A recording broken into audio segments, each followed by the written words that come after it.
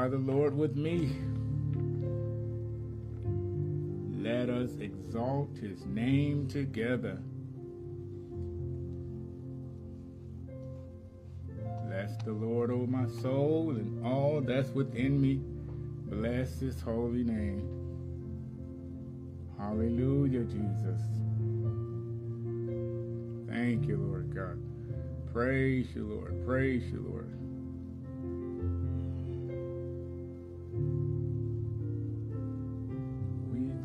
Glorify you, Jesus. Bless your name, O God. Bless your name. You're worthy. You're worthy of the praise, the glory, and the honor, Lord God. There's no God like Jehovah.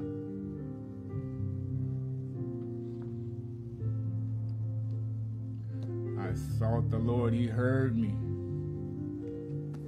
Delivered me from all my fears. Truly, God is worthy to deliver. He's faithful to hear your cry. Every time you call on His great name, He will deliver. He will bring you through victoriously. That's how mighty He is. All you got to do is trust in Him, believe in His word, that God never fails. He never abandoned you, nor will He turn His back on you. We are the children of the Most High God, and God is faithful to sanctify us by His Holy Spirit. I don't know about you today, but I stand in awe of His majesty. Great is the Lord and greatly to be praised. From the rising of the sun to going down the same, his name is worthy to be praised. Hallelujah to the Lamb of God. Praise him, praise him, praise him. Oh, taste and see that the Lord is good. Blessed is the man that trusts in him.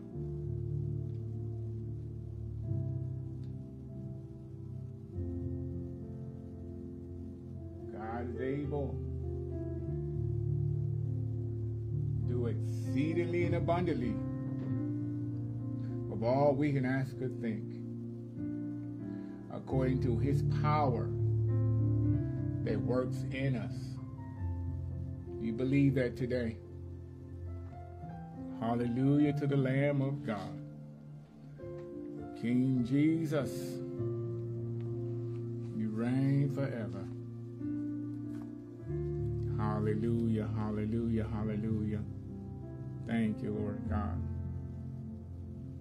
Well, praise the Lord. We're going to go ahead and get started tonight. I haven't seen no one come on yet, but I always start on time anyway. I don't want to prolong the time. Someone will hear this lesson later on. And I pray it be a blessing and enrichment to your spirit and to your soul. The Lord bring changes in your life as He does in my own life.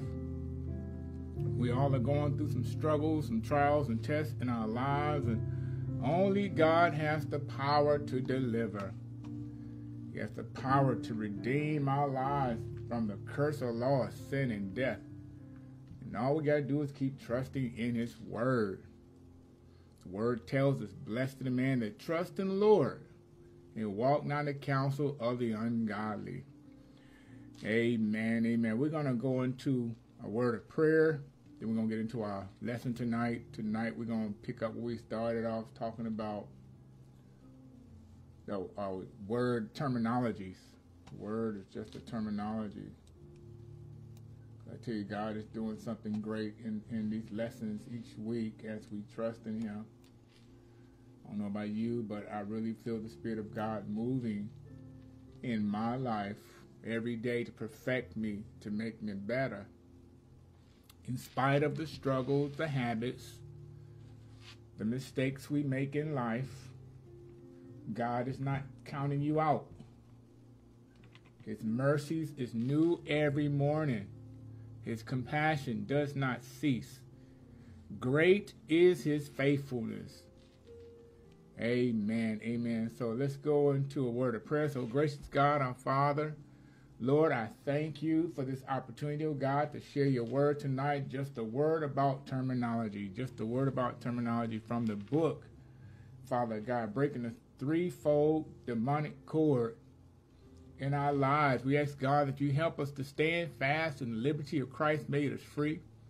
Let this word come forth with power and authority, O oh God, to convict, to reprove, to correct, to change all of our lives for the better. Forgive us for our sins, knowing and unknowing, God, and cleanse us from all unrighteousness. Have your God-like way in our lives, O God. Let the Holy Spirit purge and perfect our hearts, O God, that we have no sin issue to hinder us from receiving your word that's able to save our souls and change our lives. And I thank you. The healing would flow from the word tonight, Father God. The manifestation of your glory be revealed to the heart of your people to help provoke, to challenge, to encourage, and edify them to walk in the fullness of who you are, Father God, that your glory would be displayed through their lives. And I thank you in Jesus' name. Amen. Amen. Each week, I always start off with a devotion from the book Jesus Calling. So tonight, I want to I'll read one for October 10th that says, Trust me enough to let things happen without striving to predict or control them. Relax and refresh yourself in the light of my everlasting love. My love light never dims yet you are often unaware of my radiant presence. When you protect yourself in the future, rehearsing what you would do or say, you are seeking to be self sufficient, to be adequate without my help. This is a subtle sin, so common that it usually slips by unnoticed. The alternative is to live fully in the presence, depending on each moment that's in me, rather than fearing the inadequacy. Rejoice in my abundant supply. Train your mind to seek my help continually, even when you feel competent to handle something by yourself. Don't divide your life into things you cannot do yourself and things that require my help. Instead, learn to rely on me in every situation. This discipline will enable you to enjoy life more and to face each day confidently. This is so beautiful. Praise the Lord for this word tonight. Hallelujah. Glory to God. Blessed be the name of the Lord. Amen. Hallelujah. I pray that in, incites you to keep on relying on God instead of trying to fix your own situations by yourself without the without God's presence. Because I found out you can't do it on your own. Only God has the power to give you the strength to overcome every obstacle, trial, and test in your life. He gives you the power to keep standing on His word in spite of what goes on in your life, remember that you are able to overcome any struggle only when you trust in Lord Jesus Christ. Amen. Amen. We're going to continue where we left off last week about just a word about terminology. We also defined last week how the word echo, it's a word that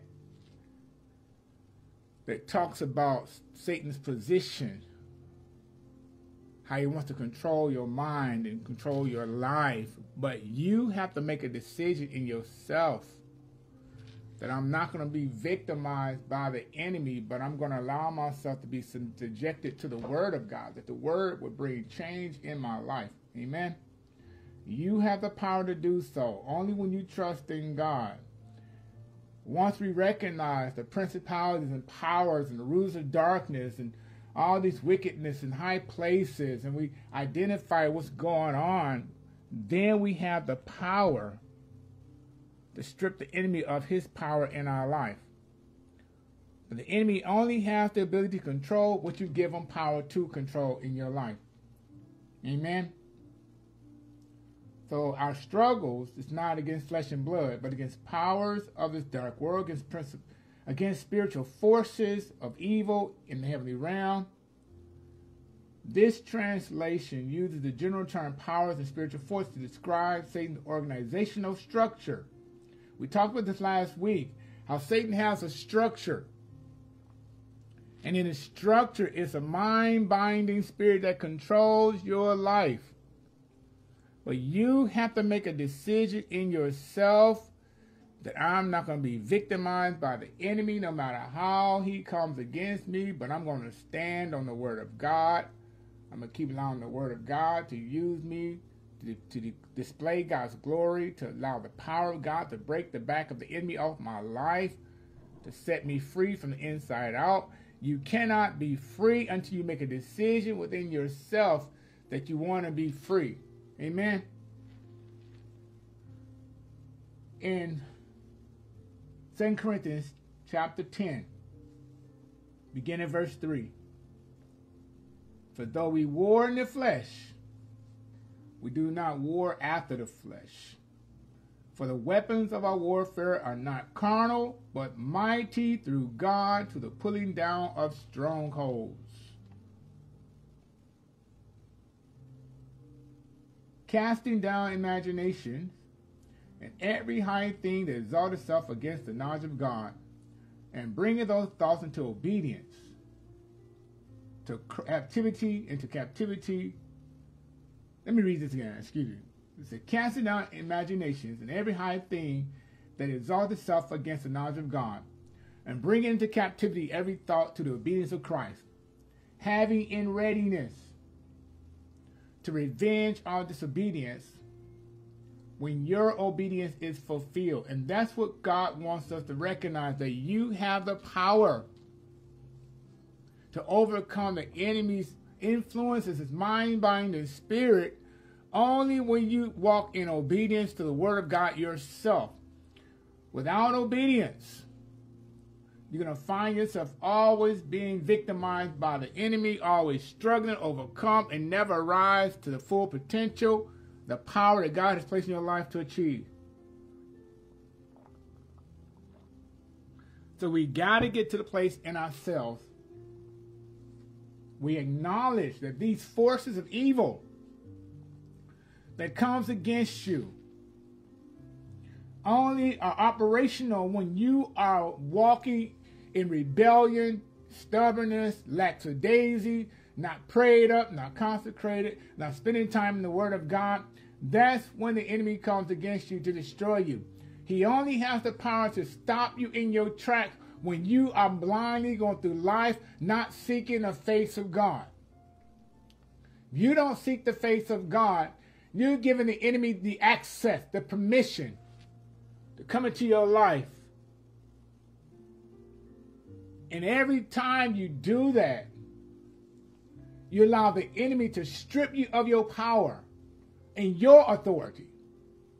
He cannot overcome your authority when you're walking with the full armor of God to stand against the wiles of the devil. That's the only way you can overcome the enemy in this life. And I'm not talking about the physical life, it's the spiritual life. Because once you get the spiritual life in order, the physical life follows suit. So in order to bring the flesh to subjection to the Lord Jesus Christ, you got to study your word. You got to meditate on the word. You got to eat the scroll, get the word inside of you, that the word will make an impact in your life to stop the enemy in his track. If you don't get into the word, the word cannot have any power in your life to overcome anything the enemy brings against you. But the only way the enemy can be defeated, just like Jesus in the wilderness, he quoted the word that man should not live by bread alone, but every word that proceeds out of the mouth of God. When you get your priorities in order and you recognize that my greatest defense against the enemy is the word of God, then I can defeat the enemy and his cohorts that come against me with the word of God. Amen. Let's move a little further.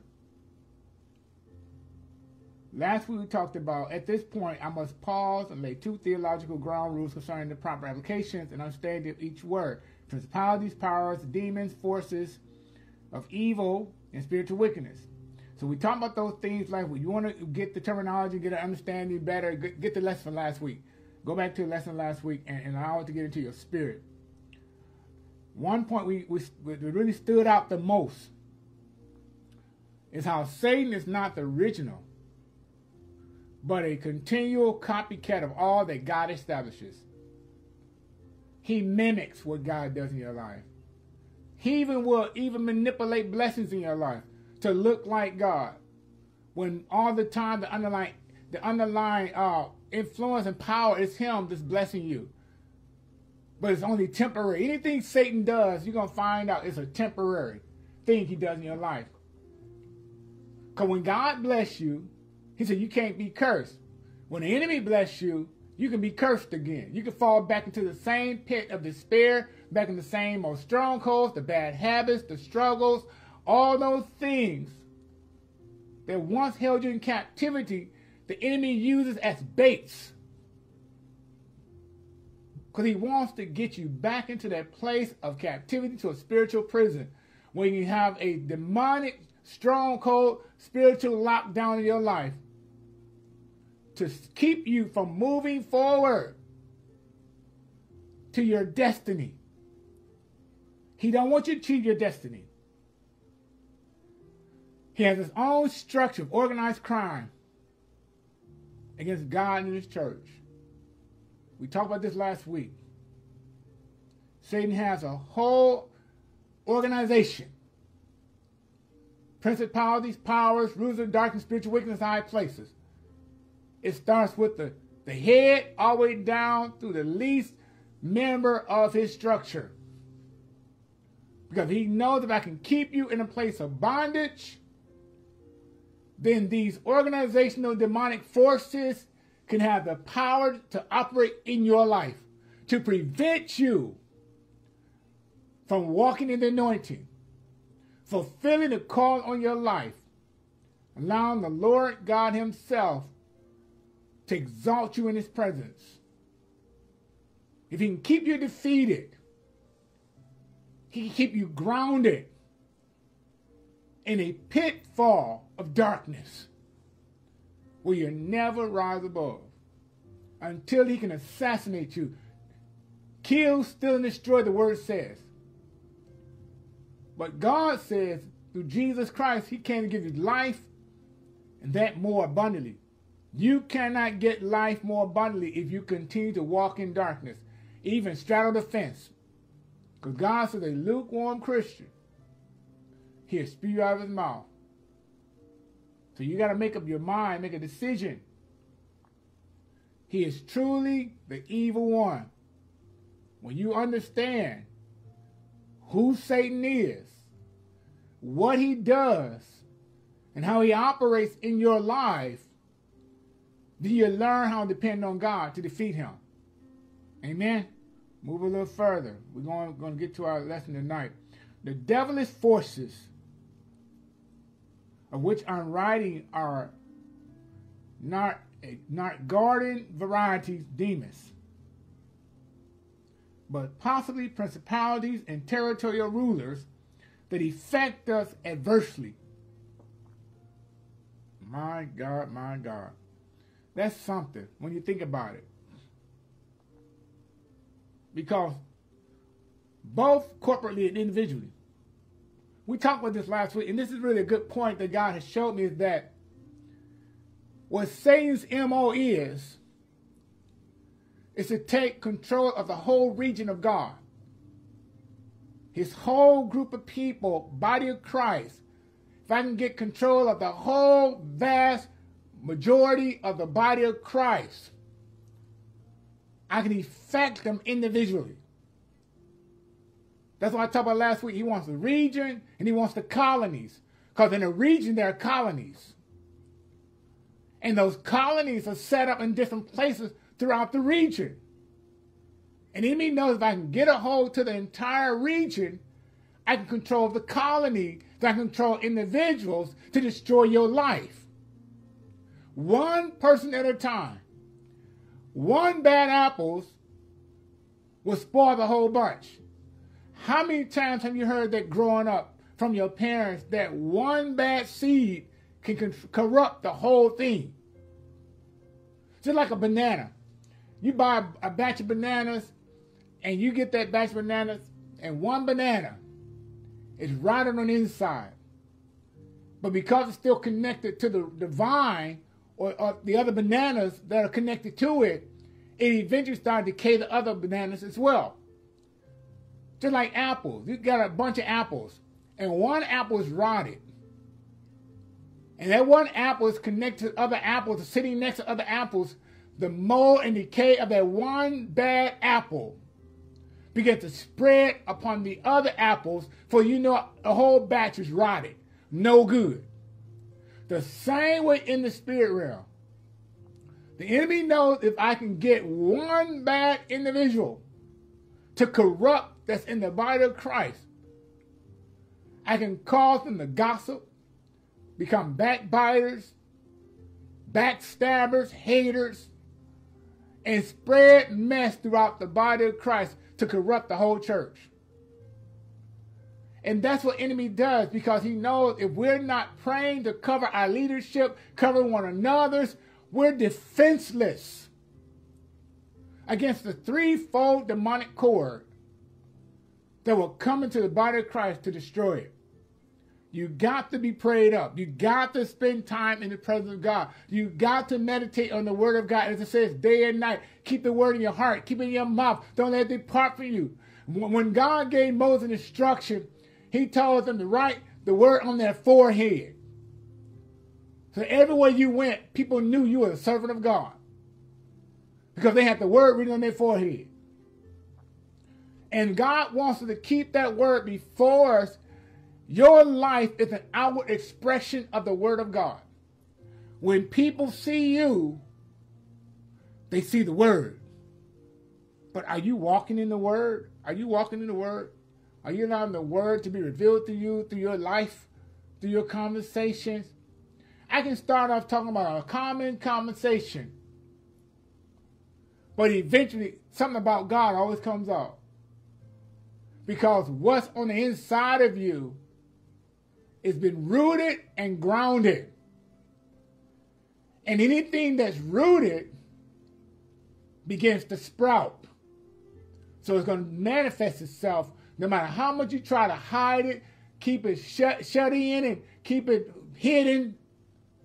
Something on the inside of you is going to come out. So you got to keep that word in you. What we presently experience every day is what I would consider subnormal. What we presently experience every day is what I would consider subnormal. We cannot rely totally on previous relations or revelations. Therefore, but are more compelled to press for fresh insight and godly instructions. You hear that?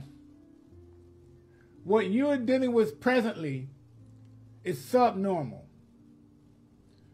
But we can't rely on the subnormality of life.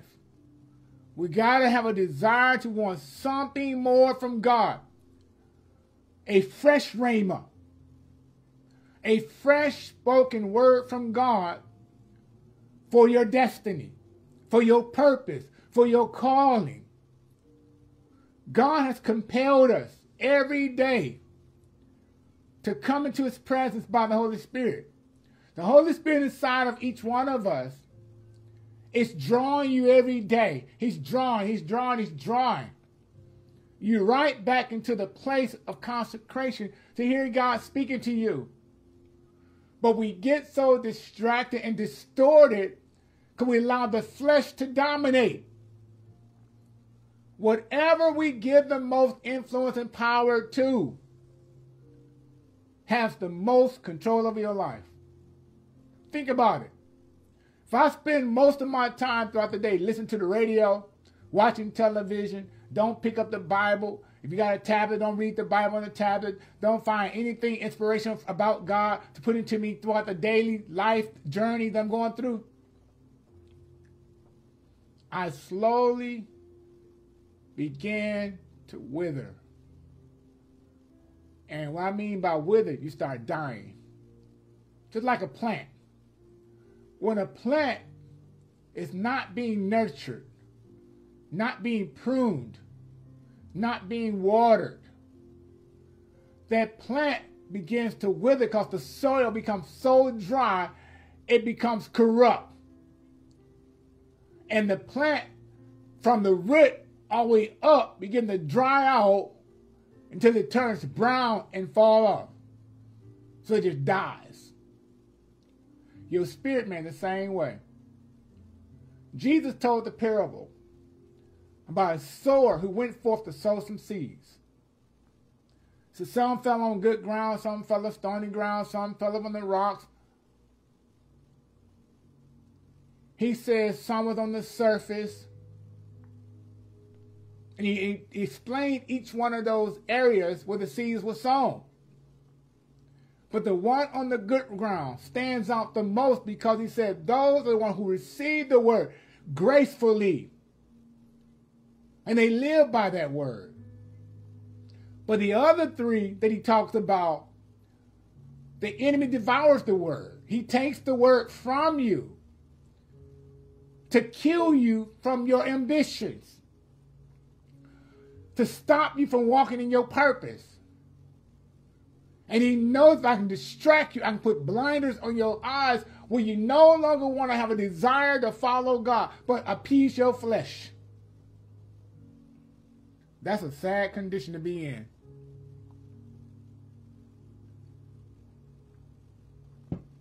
We got to pay attention, people. We got to pay attention. Allow the Holy Spirit to be the guide in your everyday journey. And when you allow the Spirit of God to have an influence in your life, the enemy cannot stop you when Jesus addressed the church at Thyatira, we talked about Pergamos last week. How he said they were so wicked and sinful. He wanted them to repent, but they wouldn't repent. Now he's talking about the church of Thyatira. He rebuked them for tolerating, check this out, Jezebel. Witchcraft. Jezebel represents witchcraft. And Jesus rebuked them for tolerating witchcraft, those demonic influences in the church, to go against God's truth and his gospel. He was not speaking about the Old Testament queen who had ruled in Israel. Centuries earlier, she was already dead. But I believe he was referring to an evil influence with the same characteristics as the Jezebel who seduced Israel to worship idols. Ain't that something? The same demonic influence of Jezebel is the same spirit that's operating in the church today.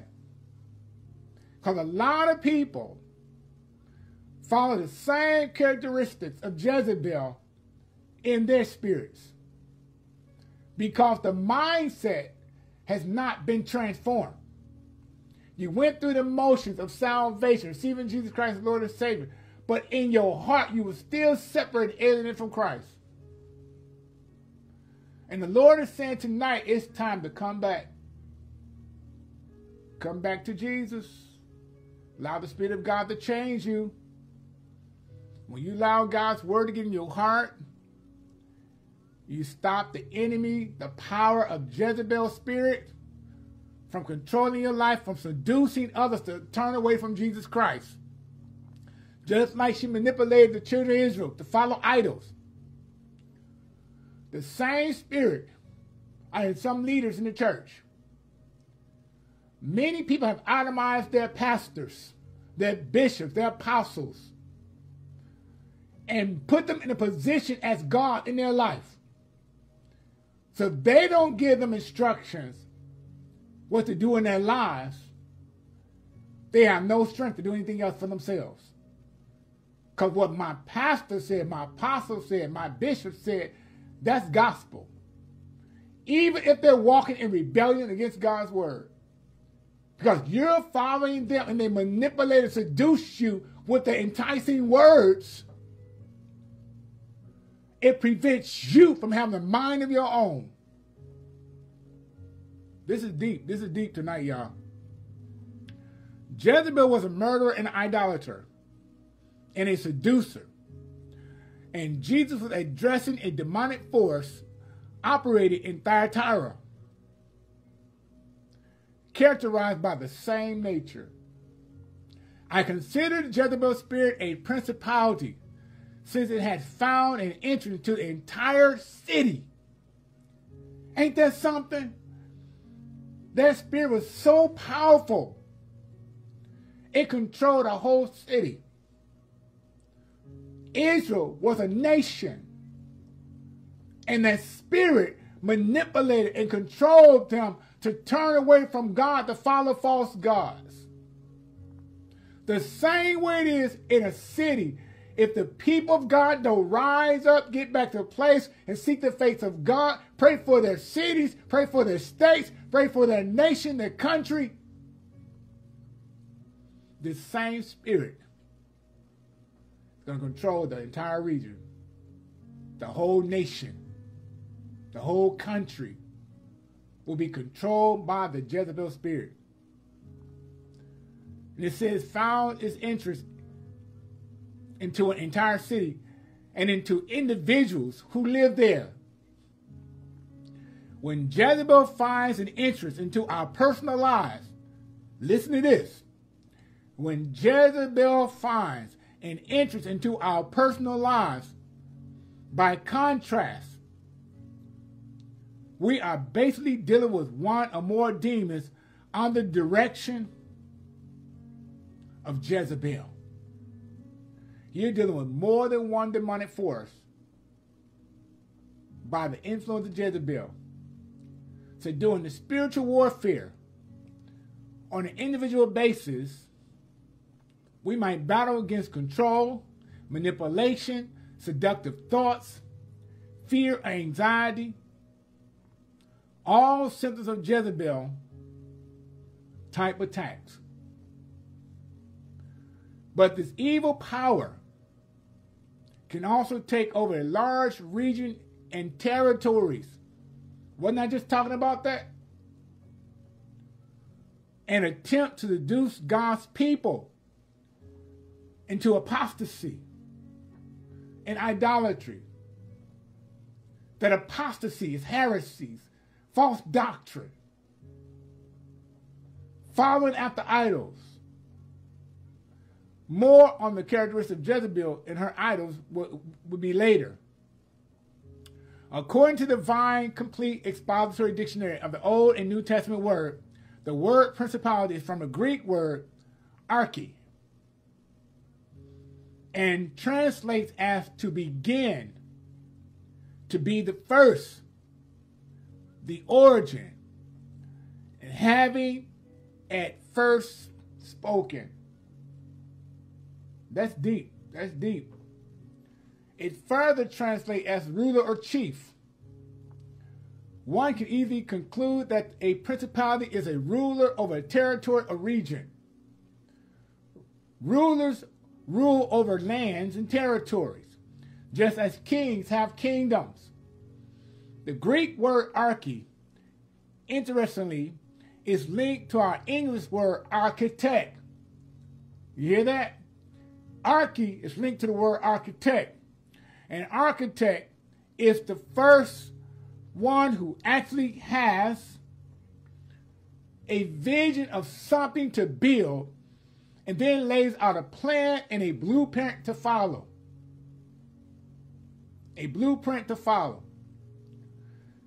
Satan has his own delicate authorities, architects in the spiritual realm who first lays out visions of destruction and then gather demons to implement their plan. That's deep. That's deep there. And that's what the enemy does. Remember a few weeks ago I talked about the death structure? A death structure cannot be built until someone has a vision that's influenced by demonic power of the enemy to design a structure or a fortress or a castle in your life to entrap you. So if Satan used the power of Jezebel to manipulate and control God's people, he has architects to design and build up a death structure around them. Then he has demonic forces to fulfill the vision. Ain't that something? Just like God says, we have a vision. God has a vision for your life. Because I know the thoughts and plans I have for you prosper do you no harm, you expect the end. So he has a vision for you. He tells you write the vision, make it plain, all may see me run with it.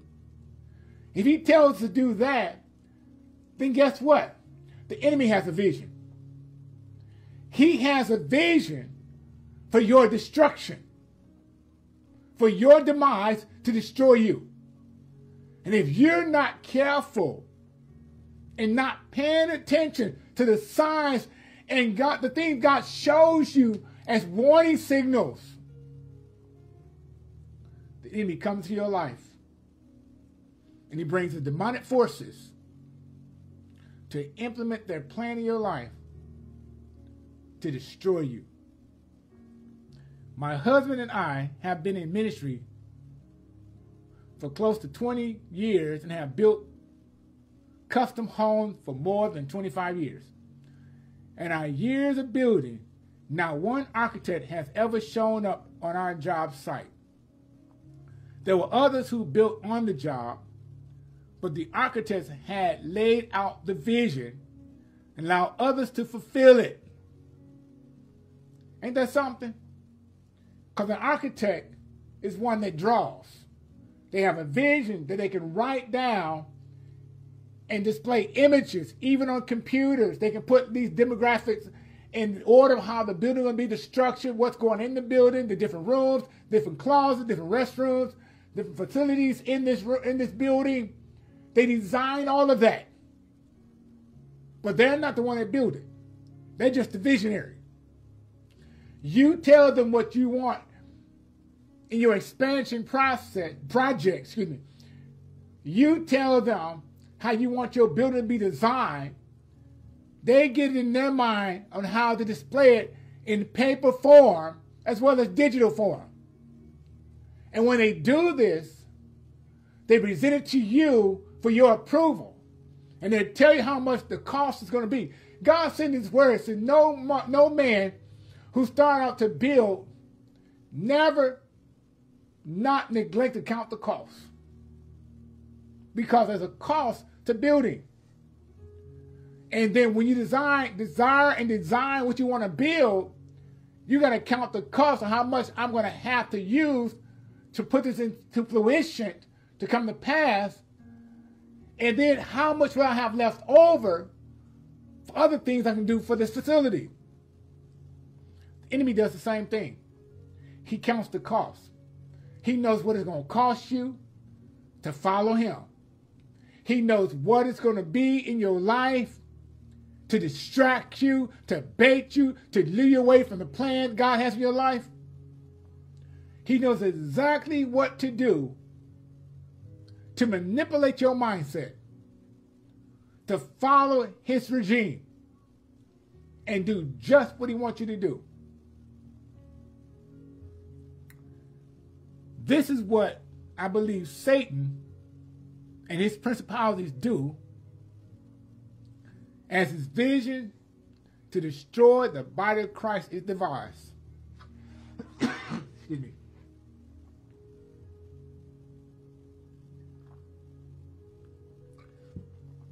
So we got to pay attention, people. We got to pay attention. Although I believe Jezebel is a principality, we are often battling with individual demons. Even though Jezebel, I mean Jezebel, excuse me, is a principality, she has other demonic forces that follows her order to implement her, her vision, her plan in your life. Jezebel is a ruler spirit, and the demonic forces of Athaliah and Delilah team up with her to oppose us. That's where we get the threefold demonic court. So you got Jezebel, who is the ruling spirit, Athaliah, her daughter, and you have Delilah, her granddaughter. All three are women. All three are influenced by demonic forces. All three have power to control and manipulate. And if you're not paying attention, when these spirits begin to operate in your life, it's going to do just what the word says kill, steal, and destroy. It's going to stop you from walking in your full purpose and the plan God has for your life. Jezebel would, therefore, be an authority with the demonic forces of Athaliah and Delilah, co laboring with her to carry out her strategy. My terminology, however, may not always be stated thus, but to be honest, I do not believe there are many absolute concernings the correct usage of the names of evil powers. The scriptures is not clear on much more than there is in hierarchy. And that's that, that high position of demons, forces. So you got to pay attention, people. We got to wake up. In Romans chapter 12, verse 2, it tells them, Be not conformed to this world, be transformed by renewing your mind. Right? So we got to get into place in our mindsets. We allow the Word of God to change us.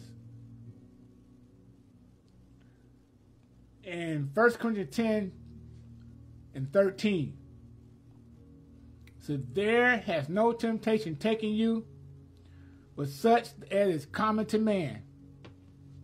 But God is faithful, who will with the temptation, who will not suffer you to be tempted above you are able to bear, but will with the temptation also make a way to escape, that you may be able to bear it. God will give you a way out of your situation only when you're seeking his face and desire to be set free then the word of God can come forth with power and authority to liberate your mindset. You cannot be liberated from the power of the enemy until you recognize that this is a demonic force that has a destruction power to move in my life to stop me in my tracks. My God, my God, my God. So we got to let the Spirit of God use us to walk in truth and righteousness. Amen. I'm looking for another scripture. I haven't found it, but I'll find it later. Uh, glory to God. Glory to God. Glory to God. Amen. Amen. Amen. Amen. Hallelujah. One minute, people. God bless you. God bless you. Here it is, Proverbs 16 and 4. That's what I'm looking for. Proverbs 16 and 4. It says, The Lord works out everything to its proper end. even the wicked for a day of disaster. Isn't that something? How God knows already the end of your enemy? We all have enemies come against us. But God said, you know what? I already devised a plan to stop your enemy in his track. But all you got to do is trust me. And if you trust me, then the word is going to continue to lead you in victory. Your victory is attached to your obedience to the word of God. If you don't obey the word of God, how you expect to overcome the enemy in your life? Your obedience is attached to following the divine order of God. And allowing the word to change your thought life every day. Amen. So it's my opinion that all three beings are powerful forces against forces that gain strongholds over our minds and emotions, as well as our families, businesses, and churches. When we refer them to as principalities, forces, or evil spirits. It is less relevant than that their power must be pulled down and Satan dethroned. For the sake of this book, let's agree not to become sidetracked and debate certain terms or phrases used to explain Satan's hierarchy and power structure. Otherwise, we have given legalism the upper hand. You know what legalism is, right? That's following the law, being governed by the law and not by the Spirit of God and His Word. Now let's continue to discover how evil powers and animating three Old Testament women, Jezebel, Athaliah, and Delilah, seduces God's chosen, are still affecting us adversely today. These three spirits have banded together are in control of your life if you're not letting God be in control. And it's still in operation today and produces legalism in the lives of God's people to make you want to follow out the rules and regulations instead of following out God's word. God's word does not operate through legalism. It operates through God's command of holiness and righteousness. When you allow the word of God to be in your heart, the word changes your life from the inside out. But it starts with the mindset. When God changed the mindset, then the enemy has no power to control you and stop you from walking in God's will. Amen. And let's see what this is. James 5.16. Let's go to James 5.16. Therefore confess your sins to each other and pray for each other that you may be healed. The prayer of a righteous person is powerful and effective. We're going to close with this last verse, 1 Peter 5 and 8. It says, Be alert, be sober, of mind. Your enemy, the devil, prowls around like a roaring lion, seeking whom he may devour. And that's what he wants to do, looking for someone to devour. That's what he wants to do. He wants to devour you. He wants to destroy your life. He's looking for someone who's vulnerable, who don't care about anything they do in life, just for their own fleshly desires to be fulfilled.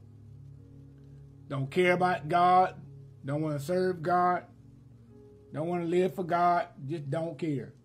And that's what the enemy looking for, someone in that position to stop you in your track. But I encourage you tonight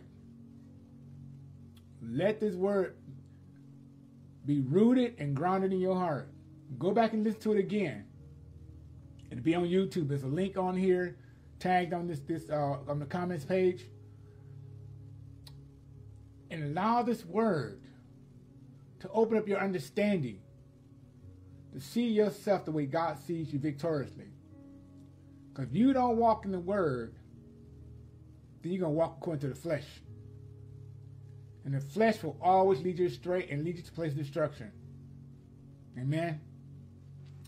So I want to thank you tonight for tuning in to our lesson tonight. If this has been a blessing to you, sow some stars in this lesson tonight. Sow some stars. Those stars add up to money to support the ministry. If it's really been blessing to you, you can also sow a seed through Cash App.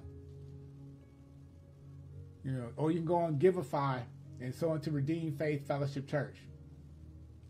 So three avenues you can sow in to support the ministry. Amen.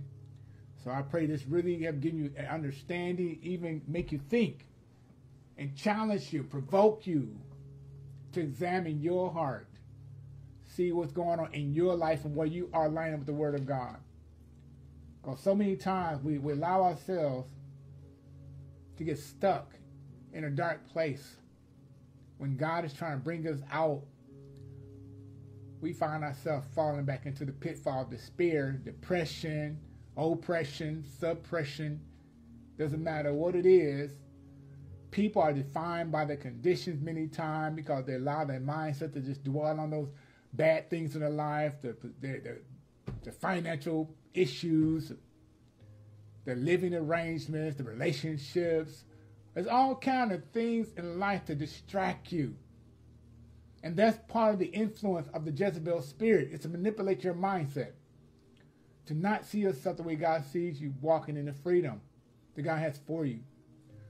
But I challenge you tonight. Get into your word. Read 2 Corinthians chapter 10. Read the whole chapter. It's a good chapter. And you'll find out when Paul was doing the church, he's bringing the word of rebuke and the word of correction. Because many times God has to rebuke us. That means chastise, correct, reprove. Because he loves us.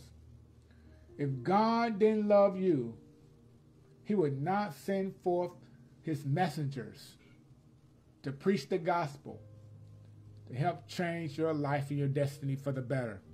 Amen. So we want to go into a word of prayer. So, Father, I thank you for this lesson tonight.